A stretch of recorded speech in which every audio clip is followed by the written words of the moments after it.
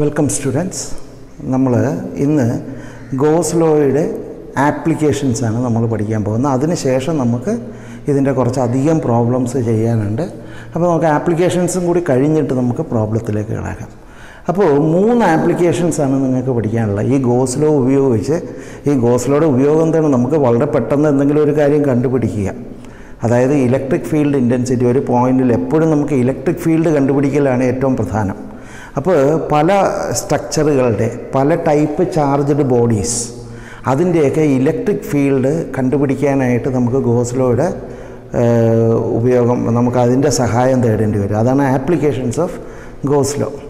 അപ്പോൾ നമുക്ക് മൂന്ന് ആപ്ലിക്കേഷൻസാണ് പഠിക്കാനുള്ളത്. ഒന്ന് electric field intensity at a point due to a uniformly charge infinitely long wire infinitely long wire എന്ന് പറയുന്നത് ദ വളരെ നീളമുള്ള ഒരു വയറിന്റെ പീസ്.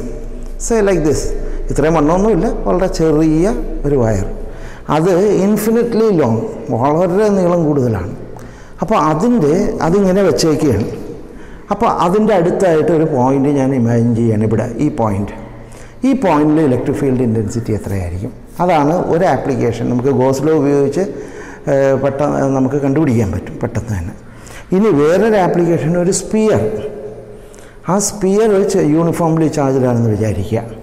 അതിന്റെ ഒരു ഷെല്ല് അതിന്റെ അകം പൊള്ളയാണ് ഒരു ഷെല്ല് ആ ഷെല്ലിന്റെ പുറത്ത് ഉള്ള ഇലക്ട്രിക് ഫീൽഡ് ഇന്റൻസിറ്റി എത്രയാണ്? അതിന്റെ സർഫസിലുള്ള ഇലക്ട്രിക് ഫീൽഡ് ഇന്റൻസിറ്റി അതിനകത്തൊരു പോയിന്റ് എടുത്തിട്ട് അതിന്റെ ഇലക്ട്രിക് ഫീൽഡ് എത്രയാണ്? ഇതെങ്ങനെ കണ്ടുപിടിക്കലാണ്? ഒരു ലക്ഷ്യം. പിന്നെ ഉള്ളത് വലിയ പ്ലേറ്റുകൾ. ഇൻഫിനിറ്റ്ലി ലോങ് പ്ലേറ്റ് ഇൻഫിനിറ്റ് സൈസുള്ള പ്ലെയിൻ പ്ലേറ്റ്സ് തകിടുകൾ വലിയ വലിപ്പമുള്ള തകിടെന്ന് വിചാരിക്കുക. പ്ലെയിൻ ആയിട്ടുള്ള.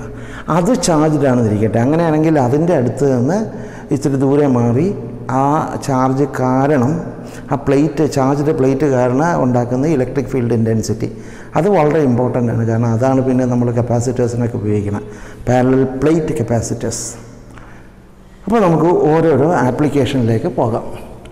First electric field intensity at a point due to a uniformly charged infinitely long wire see ഇതാണ് ഇൻഫിനിറ്റ്ലി ലോങ് വയർ എന്ന് വിചാരിക്കുക നിങ്ങൾ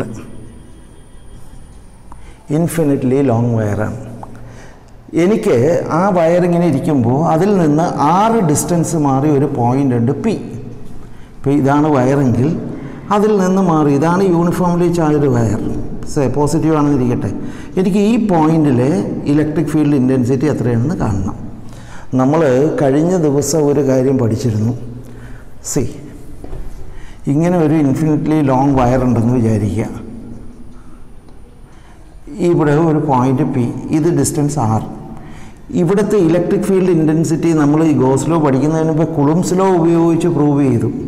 ഇതായിരിക്കും electric field intensity diametrically opposite ആയിട്ടുള്ള ഒരു പോയിന്റിൽ നിന്ന് ഇതായിരിക്കും ഇലക്ട്രിക് ഇലക്ട്രിക് ഫീൽഡ് ഇന്റൻസിറ്റി ഇവിടെ ഒരു ചെറിയ എലമെന്റ് എടുത്തു ഡി എൽ ഇവിടെ ഒരു ചെറിയ എലമെന്റ് എടുത്തു ഡി എൽ രണ്ടിന്റെയും ഇലക്ട്രിക് ഫീൽഡ് ഇന്റൻസിറ്റി ഈ ഡയറക്ഷനിലായിരിക്കും ഇതിനെ ഞാൻ രണ്ടായിട്ട് റിസോൾവ് ചെയ്തു ഇങ്ങനെ. സി ഈ കോസ് തീറ്റ ആൻഡ് ഈ സൈൻ തീറ്റ ഇത് ഈ സൈൻ തീറ്റ ഇത് ഈ കോസ് തീറ്റ ഇതിനെ ഞാൻ ഇതുപോലെ തന്നെ റിസോൾവ് ചെയ്തു. ഈ കോസ് തീറ്റ സോറി ഈ sine theta and this is ഈ കോസ് തീറ്റ അപ്പോൾ രണ്ട് ഈ കോസ് തീറ്റകൾ ഒരു ഇത് തമ്മിൽ ക്യാൻസലായി പോകും. ചുരുക്കി പറഞ്ഞാൽ ഒരു ഇത് രണ്ട് പോയിന്റ് എടുത്തപ്പോൾ രണ്ട് ഈ കോസ് തീറ്റ അപ്പോൾ ഒരു പോയിന്റ് കൊണ്ടുള്ള ചാർജ് എന്ന് പറയുന്ന ഈ കോസ് തീറ്റ മാത്രമായിരിക്കും അതിന്റെ ഡയറക്ഷൻ എപ്പോഴും ഇതായിരിക്കും എന്ന് നമ്മൾ കഴിഞ്ഞ വീഡിയോയിൽ നമ്മൾ പഠിച്ചു. അതായത് ഒരു പ്ലെയിൻ ചാർജ്ഡ് വയർ വെച്ച് കഴിഞ്ഞാൽ അതിന്റെ ഇലക്ട്രിക് ഫീൽഡ് ഇന്റൻസിറ്റിയുടെ ഡയറക്ഷൻ എപ്പോഴും ഇങ്ങനെയായിരിക്കും. അല്ലെങ്കിൽ ഇങ്ങനെയൊന്നും ഒരിക്കലും ഇലക്ട്രിക് ഫീൽഡ് ഇന്റൻസിറ്റി ഉണ്ടാകുകയില്ല. ഇങ്ങനെ അല്ല? അപ്പോൾ ഇലക്ട്രിക് ഫീൽഡ് ഇന്റൻസിറ്റി എപ്പോഴും ഈ ലൈനിന് ഈ വയറിന് പെർപ്പൻഡിക്കുലറായിട്ടായിരിക്കും അത് നമ്മൾ കഴിഞ്ഞ ദിവസം പഠിച്ച കാര്യമാണ്. ഓക്കെ ആ ആ വീഡിയോ കണ്ടില്ലെങ്കിൽ അതൊന്ന് കാണുക. അപ്പോൾ നിങ്ങൾക്ക് ക്ലിയർ ആവും. ഇനി നമ്മൾ ഗോസ്ലോഡ് ആപ്ലിക്കേഷനിലേക്ക് വരികയാണ്. ഇതാണ് infinitely long wire charged uniformly charged wire X Y uniform charge എന്ന് വെച്ചാൽ എല്ലായിടത്തും ഈക്വലായിട്ട് ചാർജ് ഡിസ്ട്രിബ്യൂട്ടഡ് ആണ്. Okay that is called uniformly charge ഈ ഇതിൽ നിന്ന് ആർ ഡിസ്റ്റൻസ് മാറി ഒരു പോയിന്റാണ് പി ഈ ഡിസ്റ്റൻസ് ആറാണ് അവിടുത്തെ ഇലക്ട്രിക് ഫീൽഡ് ഇന്റൻസിറ്റിയാണ് നമുക്ക് കണ്ടുപിടിക്കേണ്ടത്. സി അതിനായിട്ട് നിങ്ങൾക്ക് കുളംസ് ലോ ഉപയോഗിച്ച് കണ്ടുപിടിക്കാം. അതപ്പോൾ ഒരുപാട് ഇന്റഗ്രേഷനും കാര്യങ്ങളൊക്കെ വരുന്നുണ്ട്. അല്ലാതെ തന്നെ ഗോസ് ലോ ഉപയോഗിച്ചിട്ട് നമുക്ക് പെട്ടെന്ന് കണ്ടുപിടിക്കാം. അതിന് ഗോസ് ലോ ഉപയോഗിക്കണമെങ്കിൽ you should have a Gaussian surface അപ്പോൾ നിങ്ങൾ ആദ്യം ഇമാജിൻ ചെയ്യേണ്ടത് നിങ്ങൾ ഒരു സിലിണ്ട്രിക്കൽ ഗോസിയൻ സർഫസ് ഇമാജിൻ ചെയ്യുക. ഏത്? ഈ പി എന്ന് പറയുന്ന പോയിന്റ് ജസ്റ്റ് കടന്നു പോകത്തക്ക രീതിയിൽ ആ ആർ റേഡിയസ് ഉള്ള ഒരു സിലിണ്ട്രിക്കൽ ഇത് suppose this is the wire ഇതിൽ നിന്ന് ആർ ഡിസ്റ്റൻസ് മാറിയിട്ടാണ് എനിക്ക് ഒരു ഇലക്ട്രിക് ഫീൽഡ് ഇന്റൻസിറ്റി കണ്ടുപിടിക്കുന്നത് നിങ്ങളൊരു ഇമാജിനറി ഗോസിയൻ സർഫസ് നിങ്ങൾ ഇമാജിൻ ചെയ്യുക. Suppose this is a Gaussian surface ഇതിങ്ങനെ സിലിണ്ടർ ഇത് ഇതാണ് വയർ വയർ ഇങ്ങനെ കടന്നു പോവുകയാണ്. അതിൽ നിന്ന് ആർ ഡിസ്റ്റൻസ് മാറി ഉള്ള ഒരു പോയിന്റിൽ ഇത് ഇവിടുത്തെ ഒരു പോയിന്റിലാണ് എനിക്ക് കണ്ടുപിടിക്കേണ്ടത്. അപ്പോൾ ഞാൻ അവിടെ ഒരു ഗോസിയൻ സർഫസ് ഇമാജിൻ ചെയ്യണത് cylindrical Gaussian surface with all surfaces closed എല്ലാ ഭാഗവും ക്ലോസ്ഡ് ആണ്. ഈ ഭാഗവും ക്ലോസ്ഡ് ആണ്. ഈ ഭാഗവും ക്ലോസ്ഡ് ആണെന്ന് വിചാരിക്കുക. അങ്ങനെ ഒരു സിലിണ്ട്രിക്കൽ ആണ് ഞാൻ ഇവിടെ വിചാരിച്ചേക്കുന്നത്. സോ ഇതൊരു ഗോസിയൻ സർഫസ് ആണ്. ഇതിന്റെ റേഡിയസ് എത്രയാണ്? ആർ നിങ്ങൾക്ക് ഏത് പോയിന്റിലെയാണ് കണ്ടുപിടിക്കേണ്ടത്? ആ പോയിന്റും ഇതുമായിട്ടുള്ള പെർപ്പൻഡിക്കുലർ ഡിസ്റ്റൻസ് എത്രയാണോ അത്രയും തന്നെ ഡയമീറ്റർ ഉള്ള റേഡിയസ് ഉള്ള ഒരു സിലിണ്ട്രിക്കൽ ഗോസിയൻ സർഫസ് ഇമാജിൻ ചെയ്യണം. ഇനി ഇനി എന്താ നമ്മൾ ചെയ്യുന്നത്? നമ്മൾ ഫ്ലക്സ് കണ്ടുപിടിക്കാൻ എന്താ ചെയ്യേണ്ടത്? നമ്മളുടെ എക്സ്പ്ല മറ്റേ അതിന്റെ എക്സ്പ്ലനേഷൻ അനുസരിച്ച് ഫൈയുടെ ഡെഫിനേഷൻ അനുസരിച്ച് ബൈ ഡെഫിനേഷൻ നമ്മൾ ഈ സിലിണ്ടറിക്കൽ സർഫസിൽ കൂടിയുള്ള ടോട്ടൽ ഫ്ലക്സ് ആണ് കണ്ടുപിടിക്കാൻ പോണത് ടോട്ടൽ ഫ്ലക്സ് അതായത് total number of electric field lines or E into A അതാണ് കണ്ടുപിടിക്കാൻ പോണം. അപ്പോൾ by definition what is phi phi is equal to surface integral E dot d s അപ്പോൾ നമ്മൾ എന്ത് ചെയ്യും? നമ്മൾ ഈ സിലിണ്ട്രിക്കൽ സർഫസിനെ ചെറിയ ചെറിയ ഏരിയകളായിട്ട് തിരിക്കും. ഈ ഇലക്ട്രിക്കൽ ഈ സോറി ഈ സിലിണ്ട്രിക്കൽ സർഫസിനെ ഞാനിങ്ങനെ ചെറിയ ചെറിയ ഏരിയകളായിട്ട് ഇങ്ങനെ തിരിച്ചു. ഇങ്ങനെ ഇങ്ങനെ ചെറിയ ഇത് മുഴുവൻ അങ്ങനെ ഞാൻ വരച്ചു വെച്ചു. എന്നിട്ട് ഈ ഒരു ഏരിയയാണ് ഡി എസ് ആ ഇതാണ് ആ ഡി എസ് ആണ് ഈ വരച്ചു വെച്ചേക്കുന്നത്. ഈ ഡി എസിന്റെ ഡയറക്ഷൻ എന്തായിരിക്കും?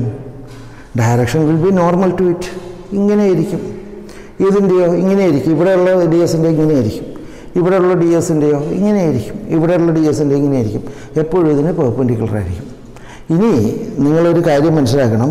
നേരത്തെ പറഞ്ഞ എക്സാമ്പിൾ അനുസരിച്ച് ഇങ്ങനെ ഒരു വയറുണ്ടെങ്കിൽ ഇങ്ങനെ ഒരു വയർ ഇതാണ് വയർ ചാർജ്ഡ് വയർ അതിന്റെ ഇലക്ട്രിക് ഫീൽഡ് എപ്പോഴും ഏത് ഡയറക്ഷനിലായിരിക്കും ഇതിന് പെർപ്പൻഡിക്കുലർ ആയിരിക്കും. ഇങ്ങനെയായിരിക്കും. ഇതിന്റെ ഏരിയയും ഏത് സമയം ഇതിന്റെ പെർപ്പൻഡിക്കുലർ ആയിരിക്കും. ചുരുക്കി പറഞ്ഞാൽ this d s will have a direction in this direction. At the same time E will also have the same direction. ഈയുടെ ഡയറക്ഷനും ഈയുടെ ഡയറക്ഷൻ ഇങ്ങനെ. എസിന്റെ ഡി എസിന്റെ ഡയറക്ഷൻ ഇങ്ങനെ തന്നെയാണ്. മനസ്സിലായി അപ്പോൾ what will be theta theta five will be equal to surface integral E d s cos theta here theta is equal to zero So, what will be 5? 5 will be equal to surface integral EDS. Cos theta into cos theta is 1. So, into 1. So, EDS. ഇനി What is E? Is the electric field intensity. ഇത് uniformly charge വയറാണ് അപ്പോൾ ആ distance മാറിയിട്ട് എല്ലാ പോയിന്റിലും electric field intensity uniform ആയിരിക്കും ഏത് പോയിന്റിലും ഒരു ചാർജ് വയർ യൂണിഫോംലി ചാർജ് വയറാണ് ഇൻഫിനിറ്റ്ലി ലോങ് ആണെങ്കിൽ അതിന്റെ ചുറ്റും എവിടെ ഏത് പോയിന്റ് എടുത്താലും അതിന്റെ ചുറ്റും ഉള്ള അതേ ഡിസ്റ്റൻസിലുള്ള എല്ലാ പോയിന്റിലും ഇലക്ട്രിക് ഫീൽഡ് ഇന്റൻസിറ്റി യൂണിഫോം ആയിരിക്കും. അപ്പോൾ ചുരുക്കി പറഞ്ഞാൽ ഈ സർഫസിലുള്ള ഇലക്ട്രിക് ഫീൽഡ് ഇന്റൻസിറ്റി എല്ലാം തന്നെ യൂണിഫോം ആയിരിക്കും കോൺസ്റ്റന്റ് ആയിരിക്കും. സോ നമുക്ക് ഈ പുറത്തോട്ടെടുക്കാം phi will be equal to E into surface integral d s d s എന്ന് പറയുന്നത് എന്താണ്? ഈ സർഫ് ഇന്റഗ്രേറ്റ് ചെയ്യുക. ഡി എസ് ഇന്റഗ്രേറ്റ് ചെയ്യുമ്പോൾ ഇങ്ങനെ ഇങ്ങനെ ഇങ്ങനെയുള്ള ചെറുതെല്ലാം എടുക്കണം. പിന്നെ ഈ സർഫസ് ക്ലോസ്ഡ് സർഫസാണ് അപ്പോൾ ഈ സർഫസ് ഇത് ക്ലോസ്ഡ് ആണ്. അപ്പോൾ ഇതും നമ്മൾ കൂട്ടണം. ഇതും നമ്മൾ കൂട്ടണം. പക്ഷേ ഇവിടുത്തെ ഒരു ഏരിയ കൂട്ടിക്കുക ഇതിന്റെ ഏരിയയുടെ ഡയറക്ഷൻ എന്തായിരിക്കും? ഇതായിരിക്കും. അതായത് ഇവിടെ നിങ്ങളൊരു ഏരിയ ഇമാജിൻ ചെയ്താൽ അതിന്റെ ഡയറക്ഷൻ ഡി എസ് ഇതായിരിക്കും ഇലക്ട്രിക് ഫീൽഡിന്റെ ഡയറക്ഷനോ ഇങ്ങോട്ട് so what will be the angle between these two ninety degree ഇതിന്റെ സർഫസുകളിൽ ഇതിന്റെ ഈ മൊത്തം സർഫസിൽ ഇയും ഡി എസ് ഒരേ ഡയറക്ഷൻ ഇവിടെ വരുമ്പോഴോ ഡി എസ് ഈ ഡയറക്ഷൻ ഈ ഡയറക്ഷൻ അപ്പോൾ എന്ന് വെച്ചാൽ ഇതിന്റെ സർഫസിൽ കൂടി ഇലക്ട്രിക് ഫീൽഡ് ലൈൻസ് ഫ്ലക്സ് ഉണ്ടാവില്ല എന്നർത്ഥം. ഇങ്ങനെ ഒരു ചാർജ്ഡ് വയർ ഇതിനകത്തൂടി പോയാൽ ഈ ഇമാജിനറി സർഫസിന്റെ ഈ സർഫസിലൂടെ മാത്രമേ ഇലക്ട്രിക് ഫ്ലക്സ് ഉണ്ടാവുള്ളൂ. ഈ രണ്ട് സർഫസിലൂടെ ഇങ്ങനെ ഇലക്ട്രിക് ഫ്ലക്സ് ഉണ്ടാവില്ല. ബിക്കോസ് ഇലക്ട്രിക് ഫീൽഡ് ലൈൻസ് എപ്പോഴും ഇങ്ങനെ ആയിരിക്കും. മനസ്സിലായി? അപ്പോൾ ചുരുക്കി പറഞ്ഞാൽ what will be d s d s എന്ന് പറയുന്ന ഈ ഏരിയ കൂട്ടണ്ട ഈ ഏരിയയും കൂട്ടണ്ട. ബാക്കിയുള്ള ഏരിയ കൂട്ടിയാൽ മതി. Okay suppose the length of the imaginary cylinder is l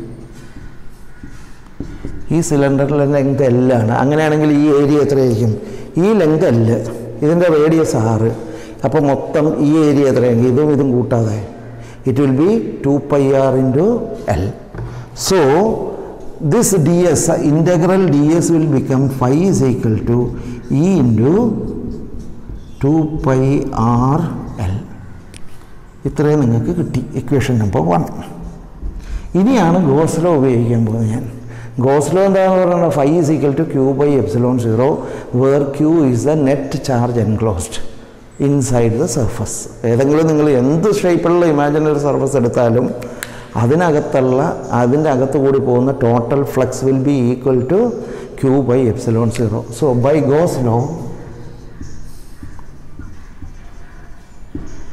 law phi is equal to q by epsilon zero ഈ ക്യൂ എത്രയാണ്? ക്യൂ എന്ന് പറയുന്ന ഇത്രയും ലെങ്തിനുള്ളിൽ എൻക്ലോസ് ചെയ്തിരിക്കുന്ന ചാർജാണ്.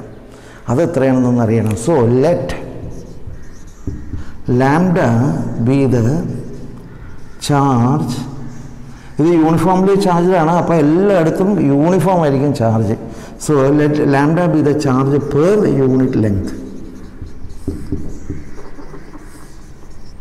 charge per unit length lambda ആണെന്ന് ഇരിക്കട്ടെ. അങ്ങനെയാണെങ്കിൽ ഈ എൽ ലെങ്തിൽ എന്തോരം ഉണ്ടാവും? എൽ ലെങ്ത് എന്ന് വെച്ചാൽ ഇതിന്റെ ഇമാജിനറി സർഫസിന്റെ ലെങ്താണ് അതിനകത്താണ് കൂടിയാണ് ഈ വയറ് പോയേക്കുന്നത് അപ്പോൾ ആ എൽ ലെങ്തുള്ള വയറിനകത്തുള്ള ചാർജാണ് ഇത് എൻക്ലോസ് ചെയ്തിരിക്കുന്ന charge so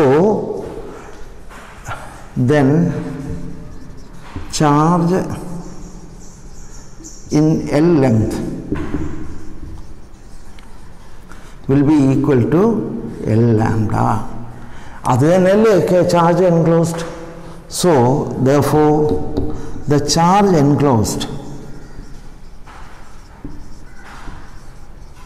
enclosed will be equal to q will be equal to lambda l. Lambda എന്ന് പറയുന്നത് യൂണിറ്റ് ചാ ലെങ്തിലുള്ളതാണ് അപ്പോൾ ക്യൂ എൽ ലെങ്തിലോ എൽ ലെങ്തിൽ ലാംഡ ഇന്റു എൽ അതാണ് charge enclosed by the cylinder so നമുക്കിവിടെ എഴുതാം. Phi is equal to instead of net charge enclosed q I can write lambda l by epsilon zero this is equation number two ഇനി equation number വണ്ണും equation number ടൂവും കൂടി ഇതൊന്ന് വായിക്കുന്നു. Equation number ടൂവും കൂടി ഞാനൊന്ന് സബ്സ്റ്റിറ്റ്യൂട്ട് കമ്പയർ ചെയ്യാണ്.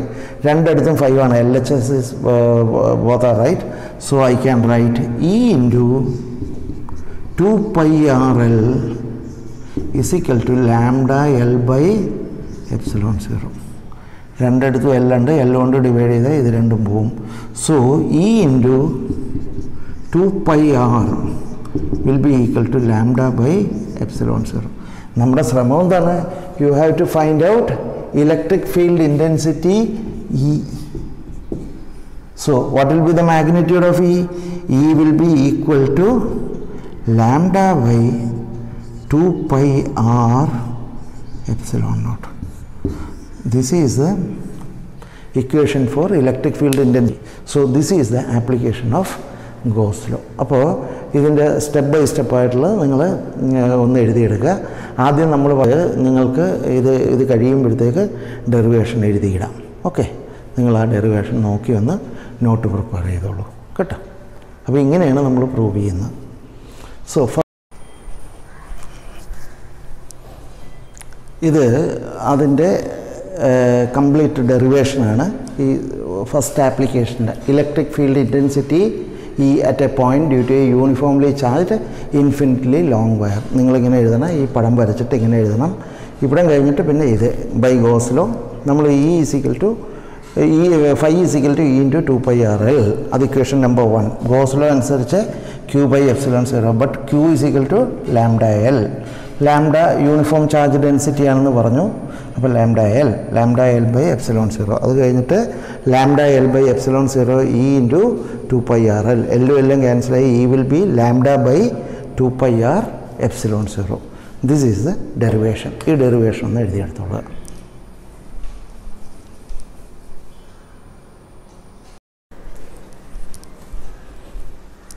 ഇനി നമുക്ക് രണ്ടാമത്തെ ആപ്ലിക്കേഷനിലേക്ക് പോകാം. Electric field intensity at a point due to a uniformly charged shell ഒരു spherical ഷെല്ലാണ് charged spherical shell charged spherical shell spherical shell അതായത് ചാർജ് ചെയ്തിരിക്കുന്ന ഷെല്ലാണ് അകത്ത് പൊള്ളയാണെന്ന് അർത്ഥം. അവിടെ നമുക്ക് മൂന്ന് സ്ഥലത്തെ ഇലക്ട്രിക് ഫീൽഡ് ഇന്റൻസിറ്റി കാണണം. ചാർജ്ഡ് ഷെല്ലായതുകൊണ്ട് ഒന്ന് a point outside the shell ഇപ്പോൾ ഇതാണ് ഷെല്ലെങ്കിൽ ഷെല്ലിന് പുറത്ത് ആർ റേഡിയസ് ഉള്ള ക്യാപിറ്റൽ ആർ റേഡിയസ് ഉള്ള ഒരു ഷെല്ലാണെന്നിരിക്കട്ടെ അങ്ങനെയാണെങ്കിൽ പി എന്ന് പറയുന്ന point it is a distance r from the centre small r അപ്പോൾ r small r is greater than R എന്ന് വെച്ചാൽ ഔട്ട്സൈഡ് ദ ഷെൽ അപ്പോൾ ഇതാണ് ആ പോയിന്റ് പി ഇതാണ് സ്പിയർ അതിന്റെ റേഡിയസ് ക്യാപിറ്റൽ ആർ. അതിന്റെ സെന്ററിൽ നിന്ന് ഒരു പോയിന്റ് ആർ ഡിസ്റ്റൻസ് മാറിയ ഒരു പോയിന്റാണ് P. This point P is outside the shell ഇതാണ് ഷെല്ല് ഔട്ട്സൈഡ് ദ ഷെൽ അപ്പോൾ ഇതിന്റെ ഡിസ്റ്റൻസ് ആറ്. അതാണ്. Imagine a uniformly charge sphere നിങ്ങളിത് എഴുതിയെടുത്തോളൂ. അപ്പോൾ പിന്നെ രണ്ടാമത് ഞാൻ പഠിപ്പിക്കുമ്പോൾ തന്നെ എഴുതിയെടുത്തോളൂ. വീഡിയോ സ്റ്റിൽ ചെയ്തിട്ട്. അപ്പോൾ ഇതിന്റെ ചാർജ് പെർ യൂണിറ്റ് ഏരിയ മറ്റേ വയറിന്റെ ചാർജ് പെർ യൂണിറ്റ് ലെങ്ത് ആയിരുന്നു. ഇതിന്റെ ചാർജ് പെർ യൂണിറ്റ് ഏരിയ ഒരു മീറ്റർ സ്ക്വയർ ഇങ്ങനെയുള്ള സ്പിയർ ആണെങ്കിൽ ഒരു മീറ്റർ സ്ക്വയറിലുള്ള ചാർജ് എന്ന് പറയുന്ന സിഗ്മയാണ് ഇനി അതവിടെ നിന്നോട്ടെ ഇപ്പോൾ സിഗ്മയുടെ ഉപയോഗം നമുക്ക് വന്നില്ല. ഇനി ഈ സ്പിയർ ഇതിങ്ങനെ ഒരു സ്പിയറാണ് ഗോസിയൻ സർഫസ് ഞാൻ ഇമാജിൻ ചെയ്തേക്കാണ്. ഈ സ്പിയറിന്റെ പുറത്ത് സർഫസിൽ ഒരു ചെറിയ ഏരിയ കൺസിഡർ ചെയ്യുക that area will be d s ആ ഡി എസിന്റെ ഡയറക്ഷൻ എന്തായിരിക്കും? ഒരു സ്പിയർ ആകുമ്പോൾ നോർമലായിട്ട് അതിന്റെ റേഡിയസിൽ നിന്ന് വരുന്ന അല്ല അതിന്റെ സെന്ററിൽ നിന്ന് വരക്കുന്ന വരയുടെ ആ ഡയറക്ഷൻ ആയിരിക്കും. അപ്പോൾ ഇതായിരിക്കും ഡി എസിന്റെ direction that will be the direction of d s ഇതാണ് ഡി എസിന്റെ ഡയറക്ഷൻ ഇനി ഇലക്ട്രിക് ഫീൽഡിന്റെ ഡയറക്ഷനോ എല്ലായിടത്തും ചാർജ് ഈക്വൽ ആയതുകൊണ്ട് എല്ലായിടത്തും റേഡിയലായിട്ടായിരിക്കും ഇലക്ട്രിക് ഫീൽഡ് ലൈൻസ് പോകുന്നു. സോ ഇങ്ങനെ വരുമ്പോൾ ഈ പോയിന്റിൽ ഇതായിരിക്കും ഇലക്ട്രിക് ഫീൽഡിന്റെ ഡയറക്ഷൻ ചുരുക്കി പറഞ്ഞാൽ ഇലക്ട്രിക് ഫീൽഡിന്റെ ഡയറക്ഷനും ഡി എസിന്റെ ഡയറക്ഷനും ഒന്ന് തന്നെ. So angle will between them will be zero ഇനി എന്ത് ചെയ്യണം? നിങ്ങൾ ഈ സ്പിയർ ഒരു ചെറിയ ചെറിയ ഡി എസുകൾ കൊണ്ടുണ്ടാക്കിയതാണെന്ന് വിചാരിക്കുക. ചെറിയ ചെറിയ ഡി എസുകളായിട്ട് ഭാഗിക്കുക നേരത്തെ സിലിണ്ടറിന്റെ കാര്യത്തിൽ നമ്മളിങ്ങനെ ചെയ്തില്ലേ? ചെറിയ ചെറിയ ഇതായിട്ട് അതേപോലെ സ്പിയറിലും ചെറിയ ചെറിയ ഇതായിട്ട് അതിന്റെ ഫ്ലക്സ് അതിന്റെ ഫ്ലക്സ് എത്രയായിരിക്കും? നമുക്കറിയാം. Phi will be equal to by definition phi is equal to E dot d s E dot d s that is E d s cos theta അങ്ങനെ E d s cos theta ഇവിടെ ഈ കേസിൽ എന്താണ്? Here it will be cos zero so that will be phi is equal to surface integral E d s ഇനി നിങ്ങൾ ഓർക്കുക ഇവിടെ എല്ലാം യൂണിഫോംലി ചാർജ്ഡാണ് അപ്പോൾ ഈ പോയിന്റിൽ എല്ലായിടത്തും ഇലക്ട്രിക് ഫീൽഡ് ഇന്റൻസിറ്റി കോൺസ്റ്റന്റ് ആയിരിക്കും. വേറെ പോയിന്റിൽ വ്യത്യാസം ഉണ്ടാവും പക്ഷേ ഈ ഒരു സ്പിയറിൽ ഈ ഗോസിയൻ സർഫസ് നമ്മൾ ഇമാജിൻ ചെയ്ത ഗോസിയൻ സർഫസിന്റെ മൊത്തം നടുക്കാണ് ഈ മറ്റേ ആക്ച്വൽ സ്പിയർ ഇരിക്കുന്നത്. അപ്പോൾ അതിന്റെ സർഫസിലുള്ള ഇലക്ട്രിക് ഫീൽഡ് യൂണിഫോം ആയിരിക്കും. അത് കോൺസ്റ്റന്റ് ആയിരിക്കും. സോ നമുക്ക് E പുറത്തെടുക്കാം. Phi will be equal to E into surface integral d s ഇങ്ങനെ ഓരോ ഡി എസും കൂട്ടിയെടുത്താൽ ഈ ഏരിയ മുഴുവൻ കൂട്ടിയെടുത്താൽ what will be the total area area of a sphere ആ സ്പിയറിന്റെ റേഡിയസ് എത്രയാണ്? ആർ ഇമാജിനറി ഗോസിയൻ സർഫസിന്റെ ഏരിയ ഞാൻ ഈ so that will be phi will be equal to E into four pi r square this is equation number one ഇനി ഇനിയാണ് Gauss law നമ്മൾ ഉപയോഗിക്കുന്നത്. ഗോസ്ലോ അനുസരിച്ച് phi will be equal to q by epsilon zero phi will be equal to q by epsilon zero that is equation two ഇനി ഇത് രണ്ടും കൂടി equate ചെയ്താൽ മതി. ഞാൻ ഇക്വേറ്റ് ചെയ്യാൻ വേണ്ടിയിട്ട് ഞാൻ ഇതൊന്ന് വായിക്കുകയാണ് നിങ്ങൾ വീഡിയോ പോസ് ചെയ്ത് ഇത് എഴുതിയെടുത്തോളൂ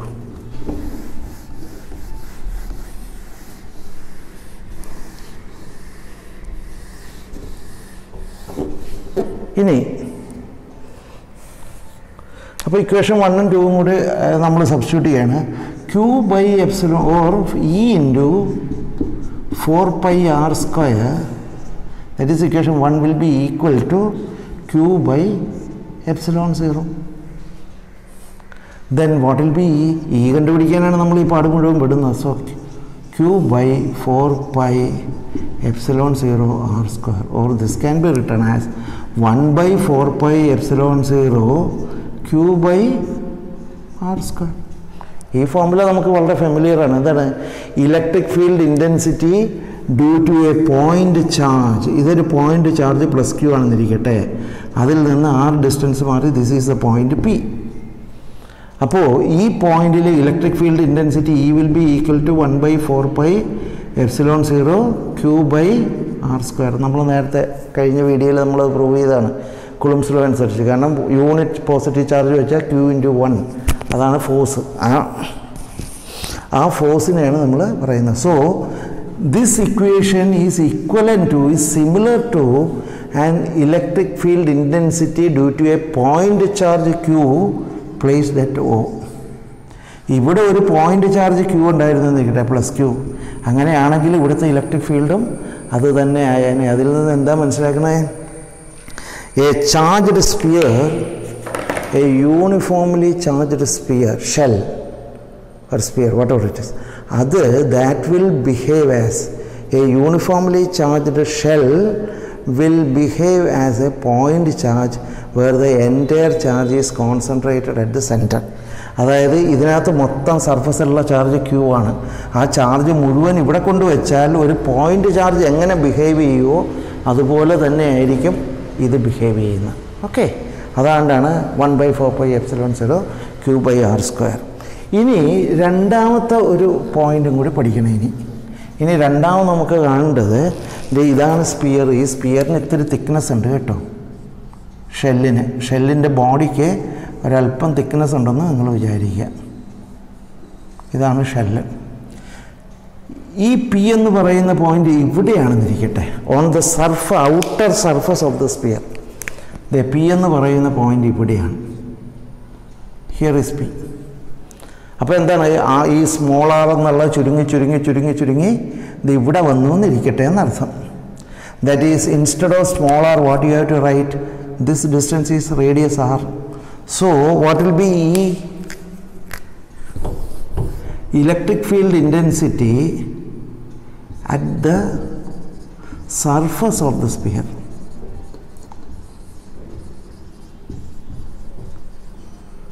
will be E will be equal to Q 1 by 4 pi epsilon 0 Q by ഈ ആർ എന്ന് പറയുന്നത് ഏതായിട്ട് മാറി? ആർ ക്യാപിറ്റൽ ആർ ആയിട്ട് മാറി. ക്യൂ ബൈ ആർ സ്ക്വയർ ഇനി വാട്ട് ഈസ് ക്യൂ നമ്മൾ ആദ്യം എഴുതി വെച്ചിട്ടുണ്ട് ക്യൂ എന്താണ്? Q will be equal to total charge on the square unit ഏരിയയിൽ എത്രയുണ്ട്? യൂണിറ്റ് ഏരിയയിൽ സിഗ്മയാണ് unit area charge density sigma unit ഏരിയയിലുള്ള ചാർജ് സിഗ്മ അപ്പോൾ ഫോർ പൈ ആർ സ്ക്വയർ ഏരിയയിൽ എത്രയുണ്ടാവും? Q so Q will be equal to but Q will be equal to sigma into four pi R square sigma എന്ന് പറഞ്ഞാൽ unit ഏരിയയിൽ അപ്പോൾ four pi R സ്ക്വയറിൽ എത്ര ഉണ്ടാവും sigma into four pi R square അതായിരിക്കും Q so E will be equal to one by four pi epsilon zero instead of Q I am writing sigma four pi R square by R square ഈ ഇക്വേഷനിൽ മാത്രമേ ഞാനത് മാറ്റുന്നുള്ളൂ. This is equation number four ഇത് equation number three equation number ഫോറിൽ മാത്രമാണ് ഞാനത് മാറ്റുന്നത് so one by one by four pi epsilon zero into ക്യൂവിന് പകരം എന്തെഴുതി sigma into four pi R square that is the total charge of the sphere by R square അപ്പോൾ എന്ത് പറ്റും? ഈ R square R square പോവും. Four pi four pi പോവും. E will be equal to sigma by epsilon zero ഇതിന്റെ സർഫസിലുള്ള electric field intensity sigma by epsilon zero ആയിരിക്കും. അതൊരു പോയിന്റാണ് അതൊന്ന് നോട്ട് ചെയ്തെടുക്കണം. അപ്പോൾ രണ്ട് കാര്യങ്ങൾ കഴിഞ്ഞു. പോയിന്റ് ഇൻസൈഡ് ദ ഫോ sorry point outside the sphere and surface of the sphere ഇത് രണ്ടും കഴിഞ്ഞു. ഇനി നമുക്ക് പോയിന്റ് ഇൻസൈഡ് ദ സ്പിയർ കാണണം. ഓക്കെ നമുക്ക് പഠിക്കാനുള്ളത് പോ electric field intensity inside the sphere ഈ ഇവിടെ ഒരു പോയിന്റ് എടുക്കുക P let it be at a distance smaller അങ്ങനെയാണെങ്കിൽ അതിനകത്തെ ഫീൽഡ് ഇന്റൻസിറ്റി എത്രയാണെന്നുള്ള പഠിക്കാം. അത് വളരെ വളരെ ഇമ്പോർട്ടന്റ് ആണ്. അത് നിങ്ങൾക്ക് സീറോ എന്ന് കിട്ടും. അപ്പോൾ ഗോസ്ലോ ഉപയോഗിച്ച് കഴിയുമ്പോൾ അത് വളരെ ഇമ്പോർട്ടന്റ് ആണ്. ഇനി വരുന്ന രണ്ട് ഡെറിവേഷൻസും വളരെ ഇമ്പോർട്ടന്റ് ആണ്. അതായത് പ്ലേറ്റ് ആണ് പ്രത്യേകിച്ച്. അത് കപ്പാസിറ്റൻസും ഒക്കെ ആയിട്ട് ഒരുപാട് ബന്ധമുണ്ട്. അപ്പോൾ അത് അടുത്ത വീഡിയോയിൽ ഞാൻ ചെയ്യാം. ഓക്കെ അപ്പോൾ ഓക്കെ താങ്ക് യു നിങ്ങൾക്ക് ഇത് വീഡിയോ ഇഷ്ടപ്പെട്ടിട്ടുണ്ടെങ്കിൽ ദയവായിട്ടൊന്ന് സബ്സ്ക്രൈബ് ചെയ്യുക. ഓക്കെ അടുത്ത വീഡിയോയിൽ കാണാം. താങ്ക്